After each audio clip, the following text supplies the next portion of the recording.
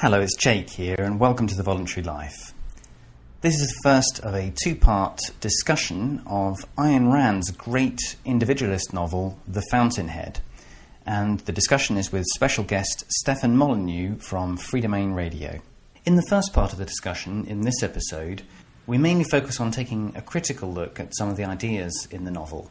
Part two is more focused on the value of the novel for those of us seeking to live the voluntary life.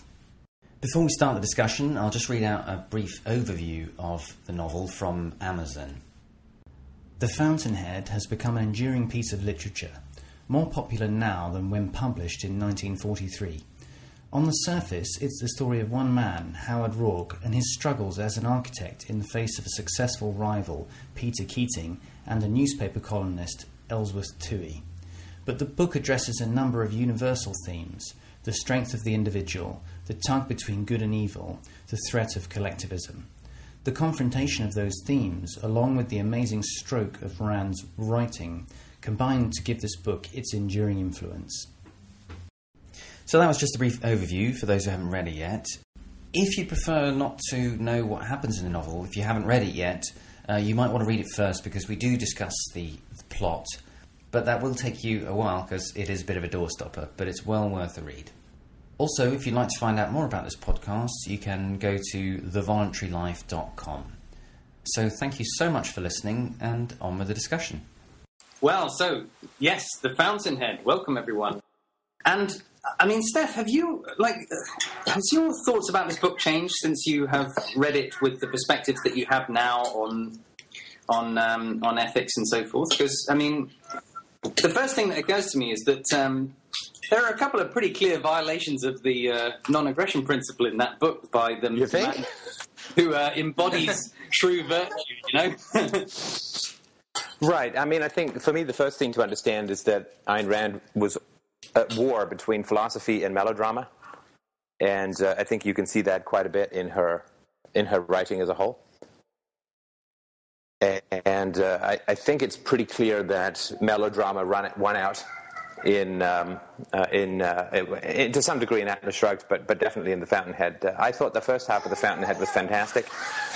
I think that the second half, and I have this problem with a lot of uh, art, uh, particularly novels or movies, is that it just it gets so big that it's larger than the than the ideas. It's like she couldn't handle just dealing with people's relationships, and so she had to have him, you know, blowing stuff up and going to court and, and all that kind of stuff. And I just thought that was. Uh, um, that was too much of a reach for something big has to happen. And she herself had the same problem with the novel that she agonized, I think, for about two years over how to end it uh, before coming up with he'll blow up his, his architecture or something, and you know Dominique will be there to do all this, that, and the other. So, uh, so I think the melodrama won out over the philosophy, which I think is a problem. Right, right. But it's interesting that she did that she didn't work out how to to end it, or it took her a long time to work out how to end it, because I mean there are some great speeches in that book. I really enjoyed the all, I mean, each of the main characters has like their big speech, and they're all really interesting. Even the uh, even the corrupt characters' main speeches are, are just fantastic. But but as a, a kind of you know advert for what virtuous living does for you, um, you know, it all goes a bit horribly pear shaped, really, doesn't it? Because you know he gets involved in raping Dominique, and he ends up up a building, and they spend most of their lives she's involved in you know relationships that um, well that she doesn't want to be in until much later on, and so you know some, there's some interesting there's an interesting distinction between what it means to to lead a virtuous life according to to the to to the character of of, um, of Roark and and the whole thing about you know not being second-hander and going your own way and what that actually looks like on the ground in terms of the way that their lives go, you know? Right, and that that is also begs, I think, one of the fundamental flaws with, and I've got so much to praise about with the book, but one of the fundamental flaws that I had was, is Howard Roark really very virtuous? I mean, does, does he struggle with virtue that much? Uh, the answer seems to be no, which again is kind of heroic and melodramatic, but I don't think it particularly helps people I mean, to me, a lot of Rand's, Rand's fictions is diets for thin people. Um, you know, people who are, who are already innately virtuous, uh, here's how to, you know, here's how they work. And there's not, there, there are some transitional characters, but uh, I, I'm, I think the argument could be made that, that Howard Roark is so innately strong that he's not actually very virtuous.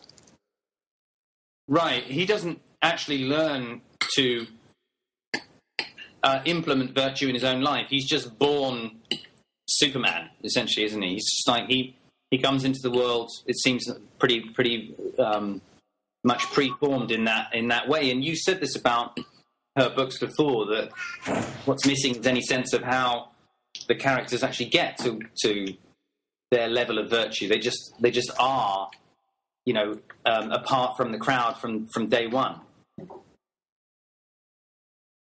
Yeah, I think uh, I think that's right. And uh, he also she she hasn't solved the problem of how a virtuous man is pretty much a rapist, uh, or if it's you know consensual rape, if that makes any sense. And also how uh, why is a virtuous man, since sexuality and romantic attraction is so foundational to her philosophy, how is the ultimately virtuous man so attracted to an obvious nut job like Dominique?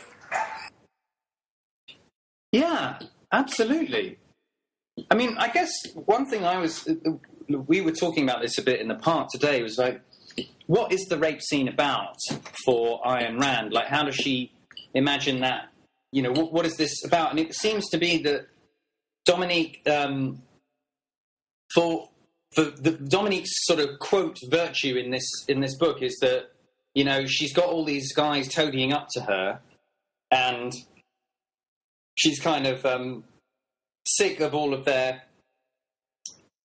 toadying, essentially. And so along comes Howard Roark, and he doesn't care what, like, he's just going to take her by force. And that somehow makes him more of a man. I mean, that seems to be the idea of the, of the rape in, in, I guess, in Rand's mind. But I wondered, you know, what is going on? You, you said that you often do dream analyses of your own novels, Stefan. what is that rape supposed to be about? Uh, yeah, I mean, I've, I've thought about that over the years, and it's it's a really it's a tough, tough question. I don't think she ever gave. Uh, she did say about Dominique that Dominique is her in a bad mood, uh, and you know you can take that with some grains of salt, I'm sure. But I think that there's some some truth in that. I think that um, Ayn Rand was not a very good negotiator in many ways.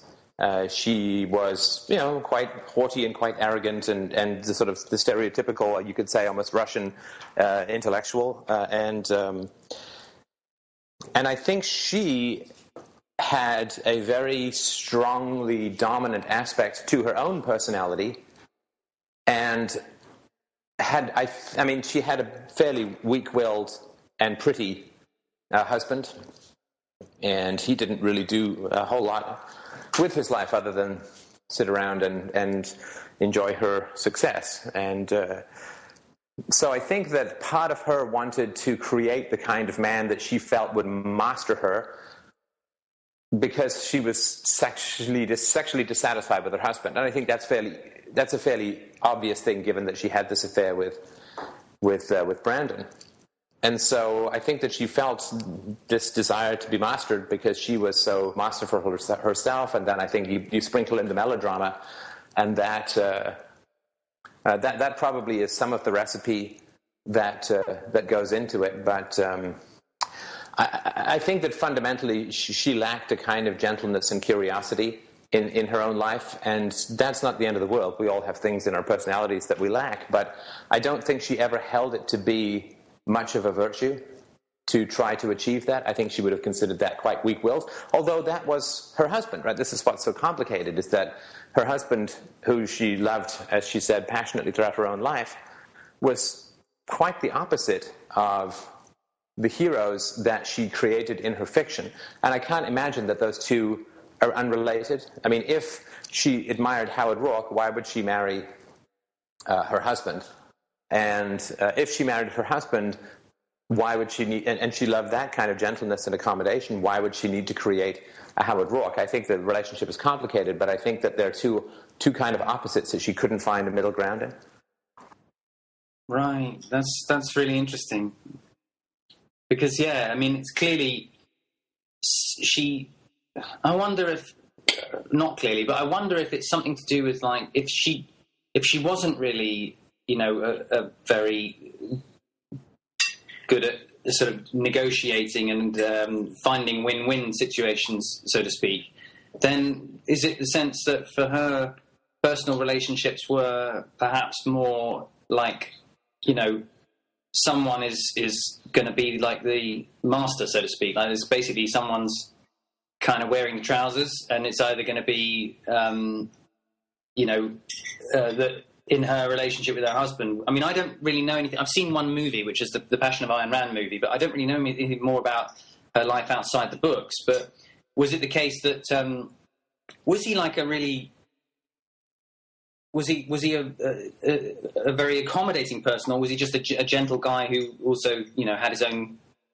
um, self esteem, so to so to so to speak? Um, no, he was he was overly accommodating. I mean, he agreed to the affair, though he hated it. Right? Yeah, yeah, that's true. Yeah, I mean, that, that that to me that's not a sign of high self esteem. Um, and uh, he. Uh, uh, he began, at least this is what the, there's no real proof to this stuff, but a lot of people say that, I mean, in, in the last decade or decade or two of his life, he began to drink uh, quite heavily, and he had always enjoyed painting, and he started to paint. Uh, and I think that there's quite a bit of, uh, if you notice that, that Peter Keating uh, is a, starts to paint again later in his life, and Howard Roark says, like, it's too late. And I always found that to be a very heartbreaking. Oh, God, yeah, I didn't think of that. That's that's right. Of course, her husband was a painter. And yeah, and not a success. And uh, of course, he had all the time in the world because of the money she made. They lived in California, then they lived in New York. He didn't really have to work. He had all the time in the world, but. I think that she was just so high maintenance that uh, he couldn't. Uh, he spent his life kind of propping her up in many ways and uh, his painting never really went anywhere. He did get a studio, uh, and then he began, I think, to get some sort of um, illness in his, his, hands, maybe arthritis or something. Couldn't couldn't paint. Began to drink. Would basically go to his uh, studio not to paint, but just to drink. And then he began to suffer from dementia. And there's, to me, it's it's a heartbreaking and tragic scene where Ayn Rand would assign him cognitive essays to help him shake off his dementia, which is such a deluded way of dealing with a physically degenerative d- disease that uh, it just shows a, a, kind of being out of reality kind of thing. Uh, and um, and her denial, like her denial of the dangers of cigarette smoking, right? I mean, she continued to smoke like a chimney, and and you know, her, she kept saying to her doctor, you know, give me a rational reason why I shouldn't. And the only rational reason she accepted was that she finally got lung cancer, had to have a lung removed. So there, there was, I think, a very dominant and forceful willpower that was very ferocious, and she had such a temper. I mean, when Brand, uh, well, sorry, when Branden finally broke off the the uh, affair, I mean, she was just savage, and and the savageness stuck. You know, I, I think we all have those moments where we get really angry, and then what happens is the cloud passes, and we're like, "Oh crap!" You know, really shouldn't have done that, and we apologize. But whenever she got angry, uh, she just didn't change. Like it just got stuck in her personality, so to speak. And I think that is um, that lack of mediation, that lack of self awareness, that lack of humility uh, is, is part of what makes her so great. I mean, she had to have that in so many ways to become uh, one of the preeminent writers of, in the English language as far as popularity and depth of content goes. She had to have that ferocity of I think, oh, of course, the, the reports seem to be fairly strong and consistent that she was addicted to uh, amphetamines for 30 or 40 years, which is uh, not not good for your capacity. I mean, drug addiction of any kind, substance abuse of any kind, but in particular that kind of stuff. Uh, does, I mean, it raises your. It's like being on steroids, right? It raises your level of anger. Uh, it, um, I think, it raises your sexual appetite and uh, causes a whole host of other cognitive distortions, which uh, obviously gave her some fuel to finish her monstrous books, but I think that came at the cost of her personal relationships considerably. That's fascinating. I didn't know that about her, and I didn't know about the um, the lung cancer either. But that must have been. I mean, in some ways, you know, because we were talking about how like the smoking is so essential in all the footage you see of Rand and all of the characters in the novels are always lighting up. You know, at any key moment, they're always having a cigarette, and it's sort and of, it's a philosophical good for her, right? Like she says in, in, in Atlas Shrugged, you know, the, the, the, when a man thinks the fire in his mind is like the fire in the cigarette. I mean, it doesn't, it, it, it beca- it's not just I have a bad habit. It's like, it, it becomes a, a, virtuous piece of art to have a cigarette. And, uh, that was uh, uh, that, that, to me is it's just too much you know not you you might just have a bad habit Are you going to tell your I'm joke? no, I, um, my my kind of perspective on the whole smoking thing with Ayn Rand is, it's, you know, it's all well and good, but like she might be this amazing orator and everything, but she won't be able to run for a bus. right. so Carry me. yeah, we actually used to make jokes about Ayn Rand, worst phone sex worst phone sex operator you'll ever get. You know, what are you wearing? That kind of stuff. Unless you're into dominatrixes. I guess so. Yeah, dominatrixes who can barely lift a whip. You know. I need you to throw yourself at this whip. anyway, It was the 1950s, though, wasn't it? I mean, the 1950s smoking was was seen completely differently to 10 years later, even. So, I mean, yeah, But if she's making a moral argument out of it, then it's a different thing. Like, just if smoking's like part of the landscape, but she's making a moral argument. Well, I mean, it was though. Was it was considered to be a sign of independence and, and authority? I think, in the, at, at one time, you know, smoking was really, especially for a woman, you know. Well, look, I agree with all of that, but this is a, a, philosopher who says reason and evidence should win every time, and science should win Oh. every time. Yeah, uh, yeah. Who, you know, into the 70s was still denying that there was any problem with, with smoking. hmm hmm Yeah. yeah, and unfortunately, reason and evidence was that she had to have a lung removed in the end. I was curious um, to ask what you guys thought about Dominique and like because you know Howard Roark obviously is like the sort of uh, the virtue man, right? And presumably Dominique is like the virtue woman because as Steph said, according to Ayn Rand as well, you know you were supposed to choose the the part you you choose the partner that reflects your own virtue and so forth. So like especially Charlotte and Hannah, I was curious, like what what did you make of this virtue virtue woman? I've always kind of understood where Dominique's coming from, but I don't like her per se. Um, in fact, the only character in the book that I really like is actually Gail Wynand, not Dominique. But I understand the argument that Rand is trying to make. Like when they meet, Dominique is not quite at the uh, at Roark's virtue level, and so I think that the the characterization was she's trying to show um, Dominique's ascent towards virtue, um, and she does it in an odd way of her basically trying to, you know, destroy herself.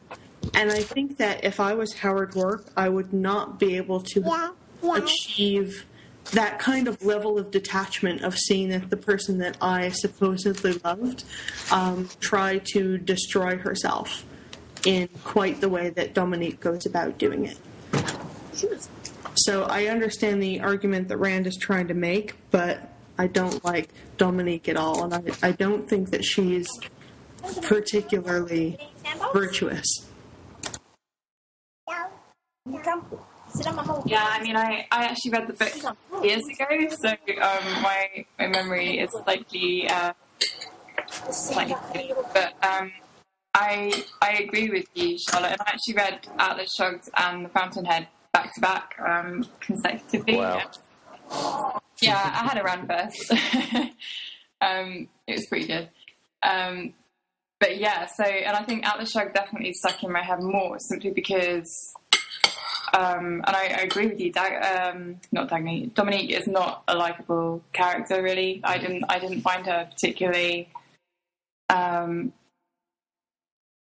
I didn't really feel like she was relatable. I mean, not many of Rand's characters are, but I felt particularly disconnected from her, and um, I think especially because I was directly comparing her to Dagny, who's obviously the female protagonist in um, Atlas Shrugged. There was quite a stark contrast, I thought, between the way that Dagny was portrayed and the way that she set up Dominique. I haven't read the Atlas Shrugged yet, but what's the what's the difference? Well, I think from what I remember, Dagny just comes across as a lot. Um, she's kind of more of a consistent character. Um, She, does she not have this self-destructive thing that Dominique has? Because I mean, the whole way through what's the, the whole way through this book, Dominique's sort of torturing herself. I mean, she like gets married, deliberately marries somebody who she knows it's going to be a complete nightmare with, and Uh, from what I remember, there's sort of like remnants of that in Dagny, but it's it's so obvious in Dominique, and it's it's it's a lot more subtle in Dagny. I think there's sort of like she definitely has sort of moments of that, but um, yeah, I just didn't really get Dominique as a character in the same way that I got what Dagny was about. Right. If that makes sense. Yeah. I mean, Rand sets Dominique up um, as an ice queen. If you look at the metaphors that Rand draws around her, everything is ice, everything is stone, everything is crystal, everything is these beautiful, fragile, um, you know, brittle metaphors. Um, the way she sets up Dagny, I think Dagny, because like she has a job and she's good for more than you know slumming around a drawing room. Um, she writes Dagny in a way that she kind of appears fragile and brittle to the people that you know are not virtuous and then to the people that are she's much more human and much more warm in a way that Dominique never achieves even with the people that she is supposedly friends with Yeah, I think that's a really good point. And I mean, the with Dagny, Dagny overall seems. I mean, you said more human, and I think that's that's kind of the same thing. To me, she seemed just stronger, like a stronger person. Hmm. yeah it's Right. like Dominique is flying to pieces at any time Now, I know that Rand is a romantic writer, and so she's not specifically naturalistic, but imagine you had a friend like Dominique. I mean, just imagine. I mean, it's, you know, she, she comes over one day and she's like, "Oh yeah, yeah, this uh, this quarry guy raped me, and I'm really attracted to him. So I think I'm gonna marry the guy who hates him the most, just to make him jealous, and then I think I'm gonna marry another guy who hates him even more, but might be secretly in love with him, and then, you know, we're gonna get together and we're gonna blow up this uh, housing complex. And I mean, wouldn't you just think like, like God, get to a like you need a team of mental health professionals and people with an enormous amount of pretty soporific medication. I mean, she, she would be a borderline personality disorder. I think it would just be it would be someone you just want to run screaming from. Is, it, would that be an unfair thing to say? no, I, I think it's borderline. I think it's sort of like full blown personality disorder. Mm. I mean, when I was reading She's the the Tyler Durden of her age. Oh yeah. I was, I was just going to about to say because like when I read through the book, I was so confused for quite a while. It took me a while to clock on that there were there was actually just one person called Dominique, or there was one woman. I was thinking because Right. they're completely different people. When she's around Roark and when she's around who's the other guy? Ed, uh, Wyatt. Yeah. Uh, what's the other guy? um, oh, Winans. uh, Winans. Winans. That's Gail Winans. That's and the other, also the third one that she marries, Hmm. Peter He's- Peter Peter Keating. Keating. They're complete. She's a completely different person. It's like she doesn't even have a character. She's just like a mirror.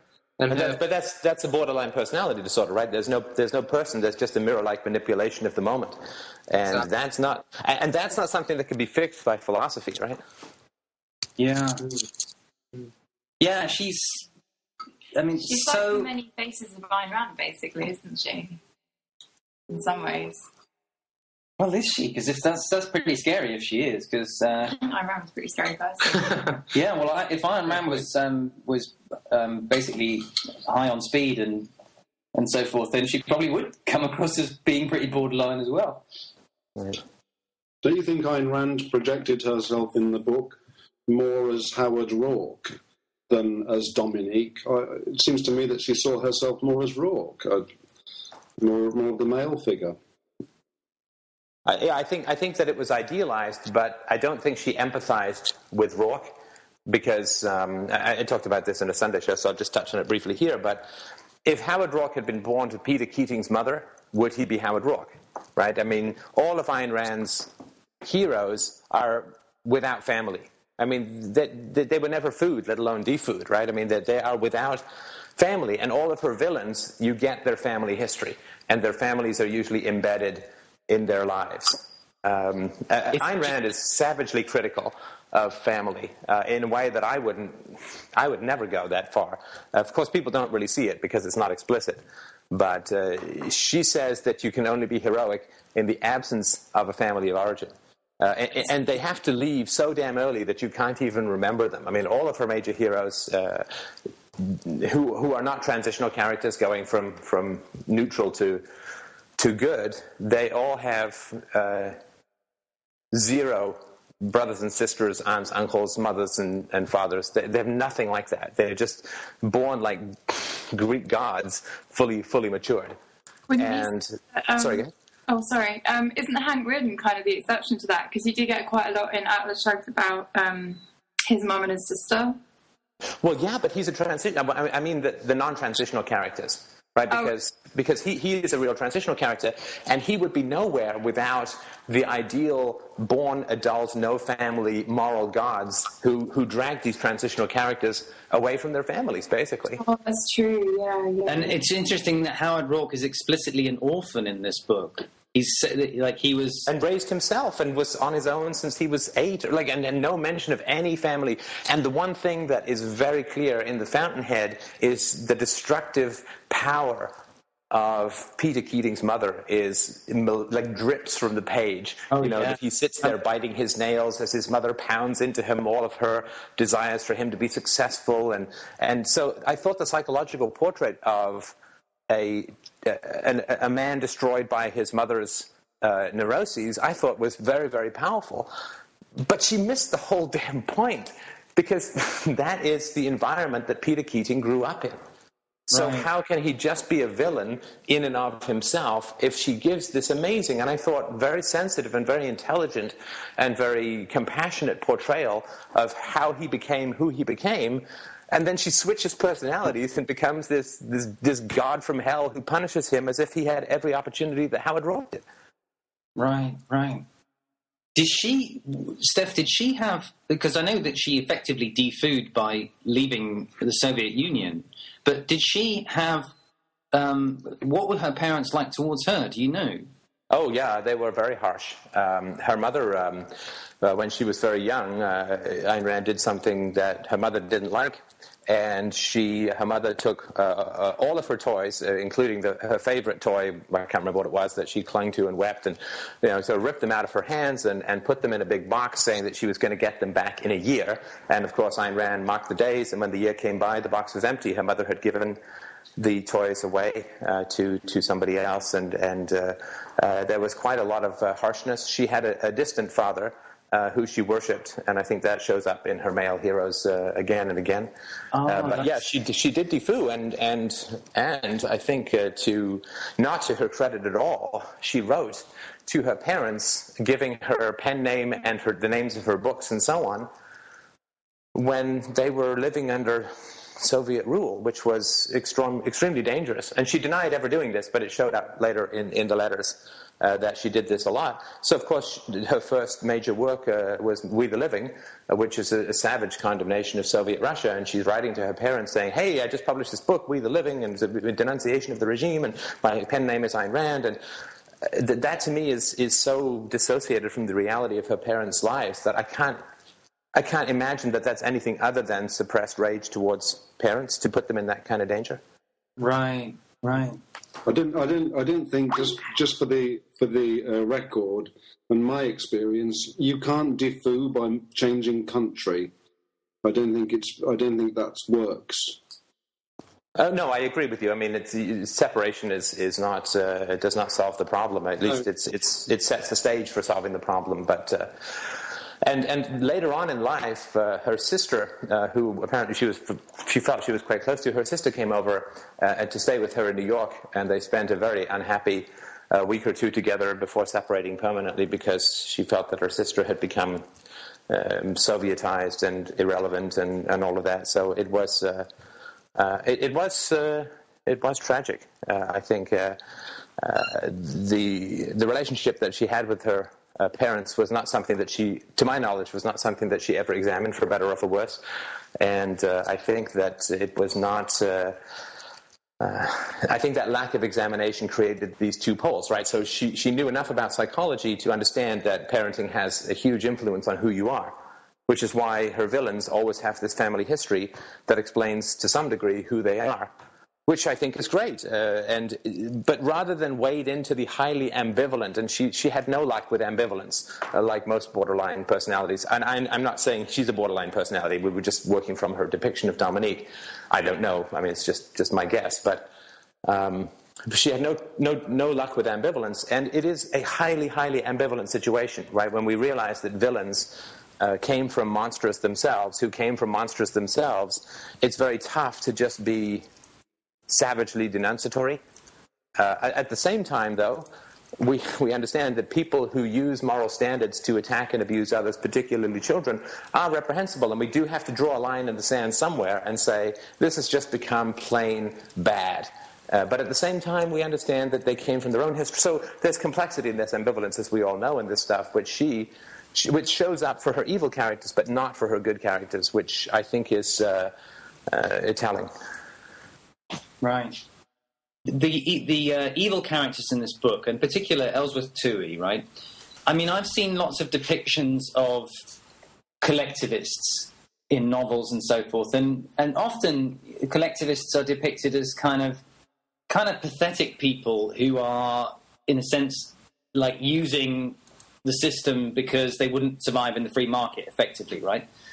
And this character gets to do a speech where he's like, you know, he gets to kind of twist his uh, evil moustache and explain like how his his genius scheme behind, you know, collectivizing the world and so forth. And I wonder what you thought about Toohey as a character, because I mean, obviously he's a he's kind of a vehicle for Ayn Rand to sort of explain a lot of how it works and a lot of what how how things in her view have kind of broken down in America, like the way the America that the the vision that she has of this shining republic, how it's all kind of gone wrong, and Toohey is like a vehicle to actually have that speech and kind of say it all. But what did you think about the you know his the evil genius Toohey? The, the Toohey thing, slowly stroking a bald cat. Yeah. Um, the first thing that I see in that speech, well, besides the fact that it's it's terrifying, but in a way, it's also um, very beautiful. It's it's like one of those sort of um, it's an encomium to to vice, basically. Um, but the first thing that I notice in the speech is exactly how wrong he is about Howard Roark's motives. Um, Toohey goes to Keating's apartment to congratulate him ostensibly on having broken Howard Roark, but the reasons that he lists for Keating having done so, you know, getting all of Howard Roark's money and getting his fame on the project, is precisely the stuff that Roark has said in a previous scene to Keating that he doesn't want. So I think it very interesting that Rand is basically saying, yes, this guy is absolutely a masterpiece of evil, but only only on his own terms when he doesn't really understand um, what's what. So it's it, an interesting way of kind of invalidating um, Toohey's power while still showing that hey he's he's running the show in a way. I think it's a very interesting sort of dualistic speech. I had a thought on uh, on Toohey. First of all, yeah, he was he was one of the most chilling villains I've I've ever read, uh, and and specifically in that speech, definitely is, is a goosebump sort of making thing, and uh, and I, I spent a lot of time thinking about exactly how evil and how uh, how intelligent and how evil he, he is. Uh, I agree. He I think he's still missing something, and and something that that stuck out to me is that his intelligence only goes down so deep and no further, which is kind of an interesting parallel to Roark's comment about uh, how much they can hurt him. So I, just that's just something I thought of while I was reading. Yeah, and I, I think that Toohey is, a, I mean, a magnificently written character, and but, but in my experience, really nasty, evil people have no self-knowledge whatsoever. Everything is externalized, and I think we, I mean, we wish that evil people had these kinds of extravagant abilities for self-knowledge, uh, and, and knew that they were evil and knew, but I think that's kind of incompatible with i mean the immoral people that i know have no self-knowledge whatsoever and, and that's the really the root of their uh, of how they can stay on that evil path. And so i was while i think that the speech the speeches that he gives are magnificent you know how many trolls know what they're doing um, and he is one of the ultimate literary trolls right uh, they don't they, they externalize completely and i was sort of dissatisfied at that because what it says is that you can have all of this self knowledge and still be evil. And of course, the purpose, at least of philosophy as I understand it, is that if you have self knowledge, you can't be evil. That's, that's sort of the point of self knowledge. Right, right. And it is, and it is in that sense, he is, you know, the kind of, um,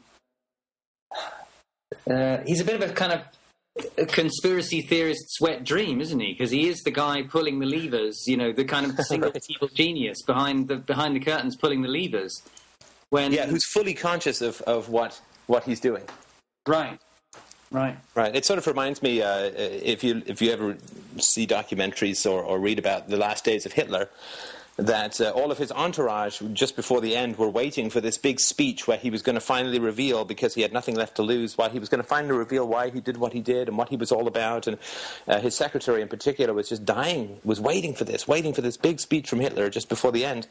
But all he did was he repeated, and she said so in interviews after the war, with extreme bitterness, disappointment, and, and, anger. He just repeated the same crazy, anti Semitic, uh, raging nonsense that he had spouted since she'd first known him in the 20s, and then he popped a pill and died. And, and th- there's this idea that, that there is within evil this grand plan, this sinister amount of self knowledge, which you can see in some of the fantasies, as you say, conspiracy theorists, that there's all these people in a, in a room somewhere doing all this smoky deals and so on. And I was even at the time disappointed when I first read it that Ayn Rand would give this amount of self knowledge to somebody who still remained evil, because then it shut off. It, to me, it, it, shut off that path to virtue. So you can have an extreme amount of self knowledge and still be fully and totally committed to destroying virtue and, and you know molesting cats and so on. And so Ayn Rand to me is explicitly state, stating that self knowledge does not cure you of evil, which was very much against the Socratic tradition. And I think that um, I think that was more her resistance to self knowledge than anything objective that had been figured out. Oh, that's a very interesting idea. So, in other words, if she had accepted the concept, or sorry, if she accepted the framework that with self knowledge comes, you know, it, it, you, you can't can't really avoid virtue because you're you're impelled towards it because we are all virtue machines in the end, right? That if she accepted that, she'd have to do a lot more self knowledge um, which maybe she wasn't really up for finding out the answers to. Yeah, no, I think I think that's right. Of course, uh, the the purpose of self knowledge is to withdraw projections because we can only act against people when we project our dark side onto them and then we attack them, right? And and you can see that, of course, that's very endemic to Ayn Rand's whole life was the projection of any of her irrationalities or her hostilities or her destructiveness, a complete projection of it onto the other with a savage and endless attack upon the other. And that is a great temptation for people who are interested in virtue, and, and we think, I certainly know, I go through it and have to deal with that within, within myself. But uh, if she had said that, like if she had gone down the path of self knowledge, then she would have depicted, and I think that that Dostoevsky depicts this very well. That uh, it is a lack of self-knowledge that uh, that goes to uh, uh that, that, creates and maintains maintains evil, uh, and I think Nietzsche does that very well as well. But she wasn't uh, able to go down that path because I think self-knowledge for her would have required a humility that was not within the scope of her personality as it stood. I mean, self knowledge arises, like science arises from, I don't have a clue how the universe works. And self knowledge arises from, I don't know how I work. Right? It's a fundamental statement of humility. And that, I don't think, was, was much on Miss Rand's list of to dos.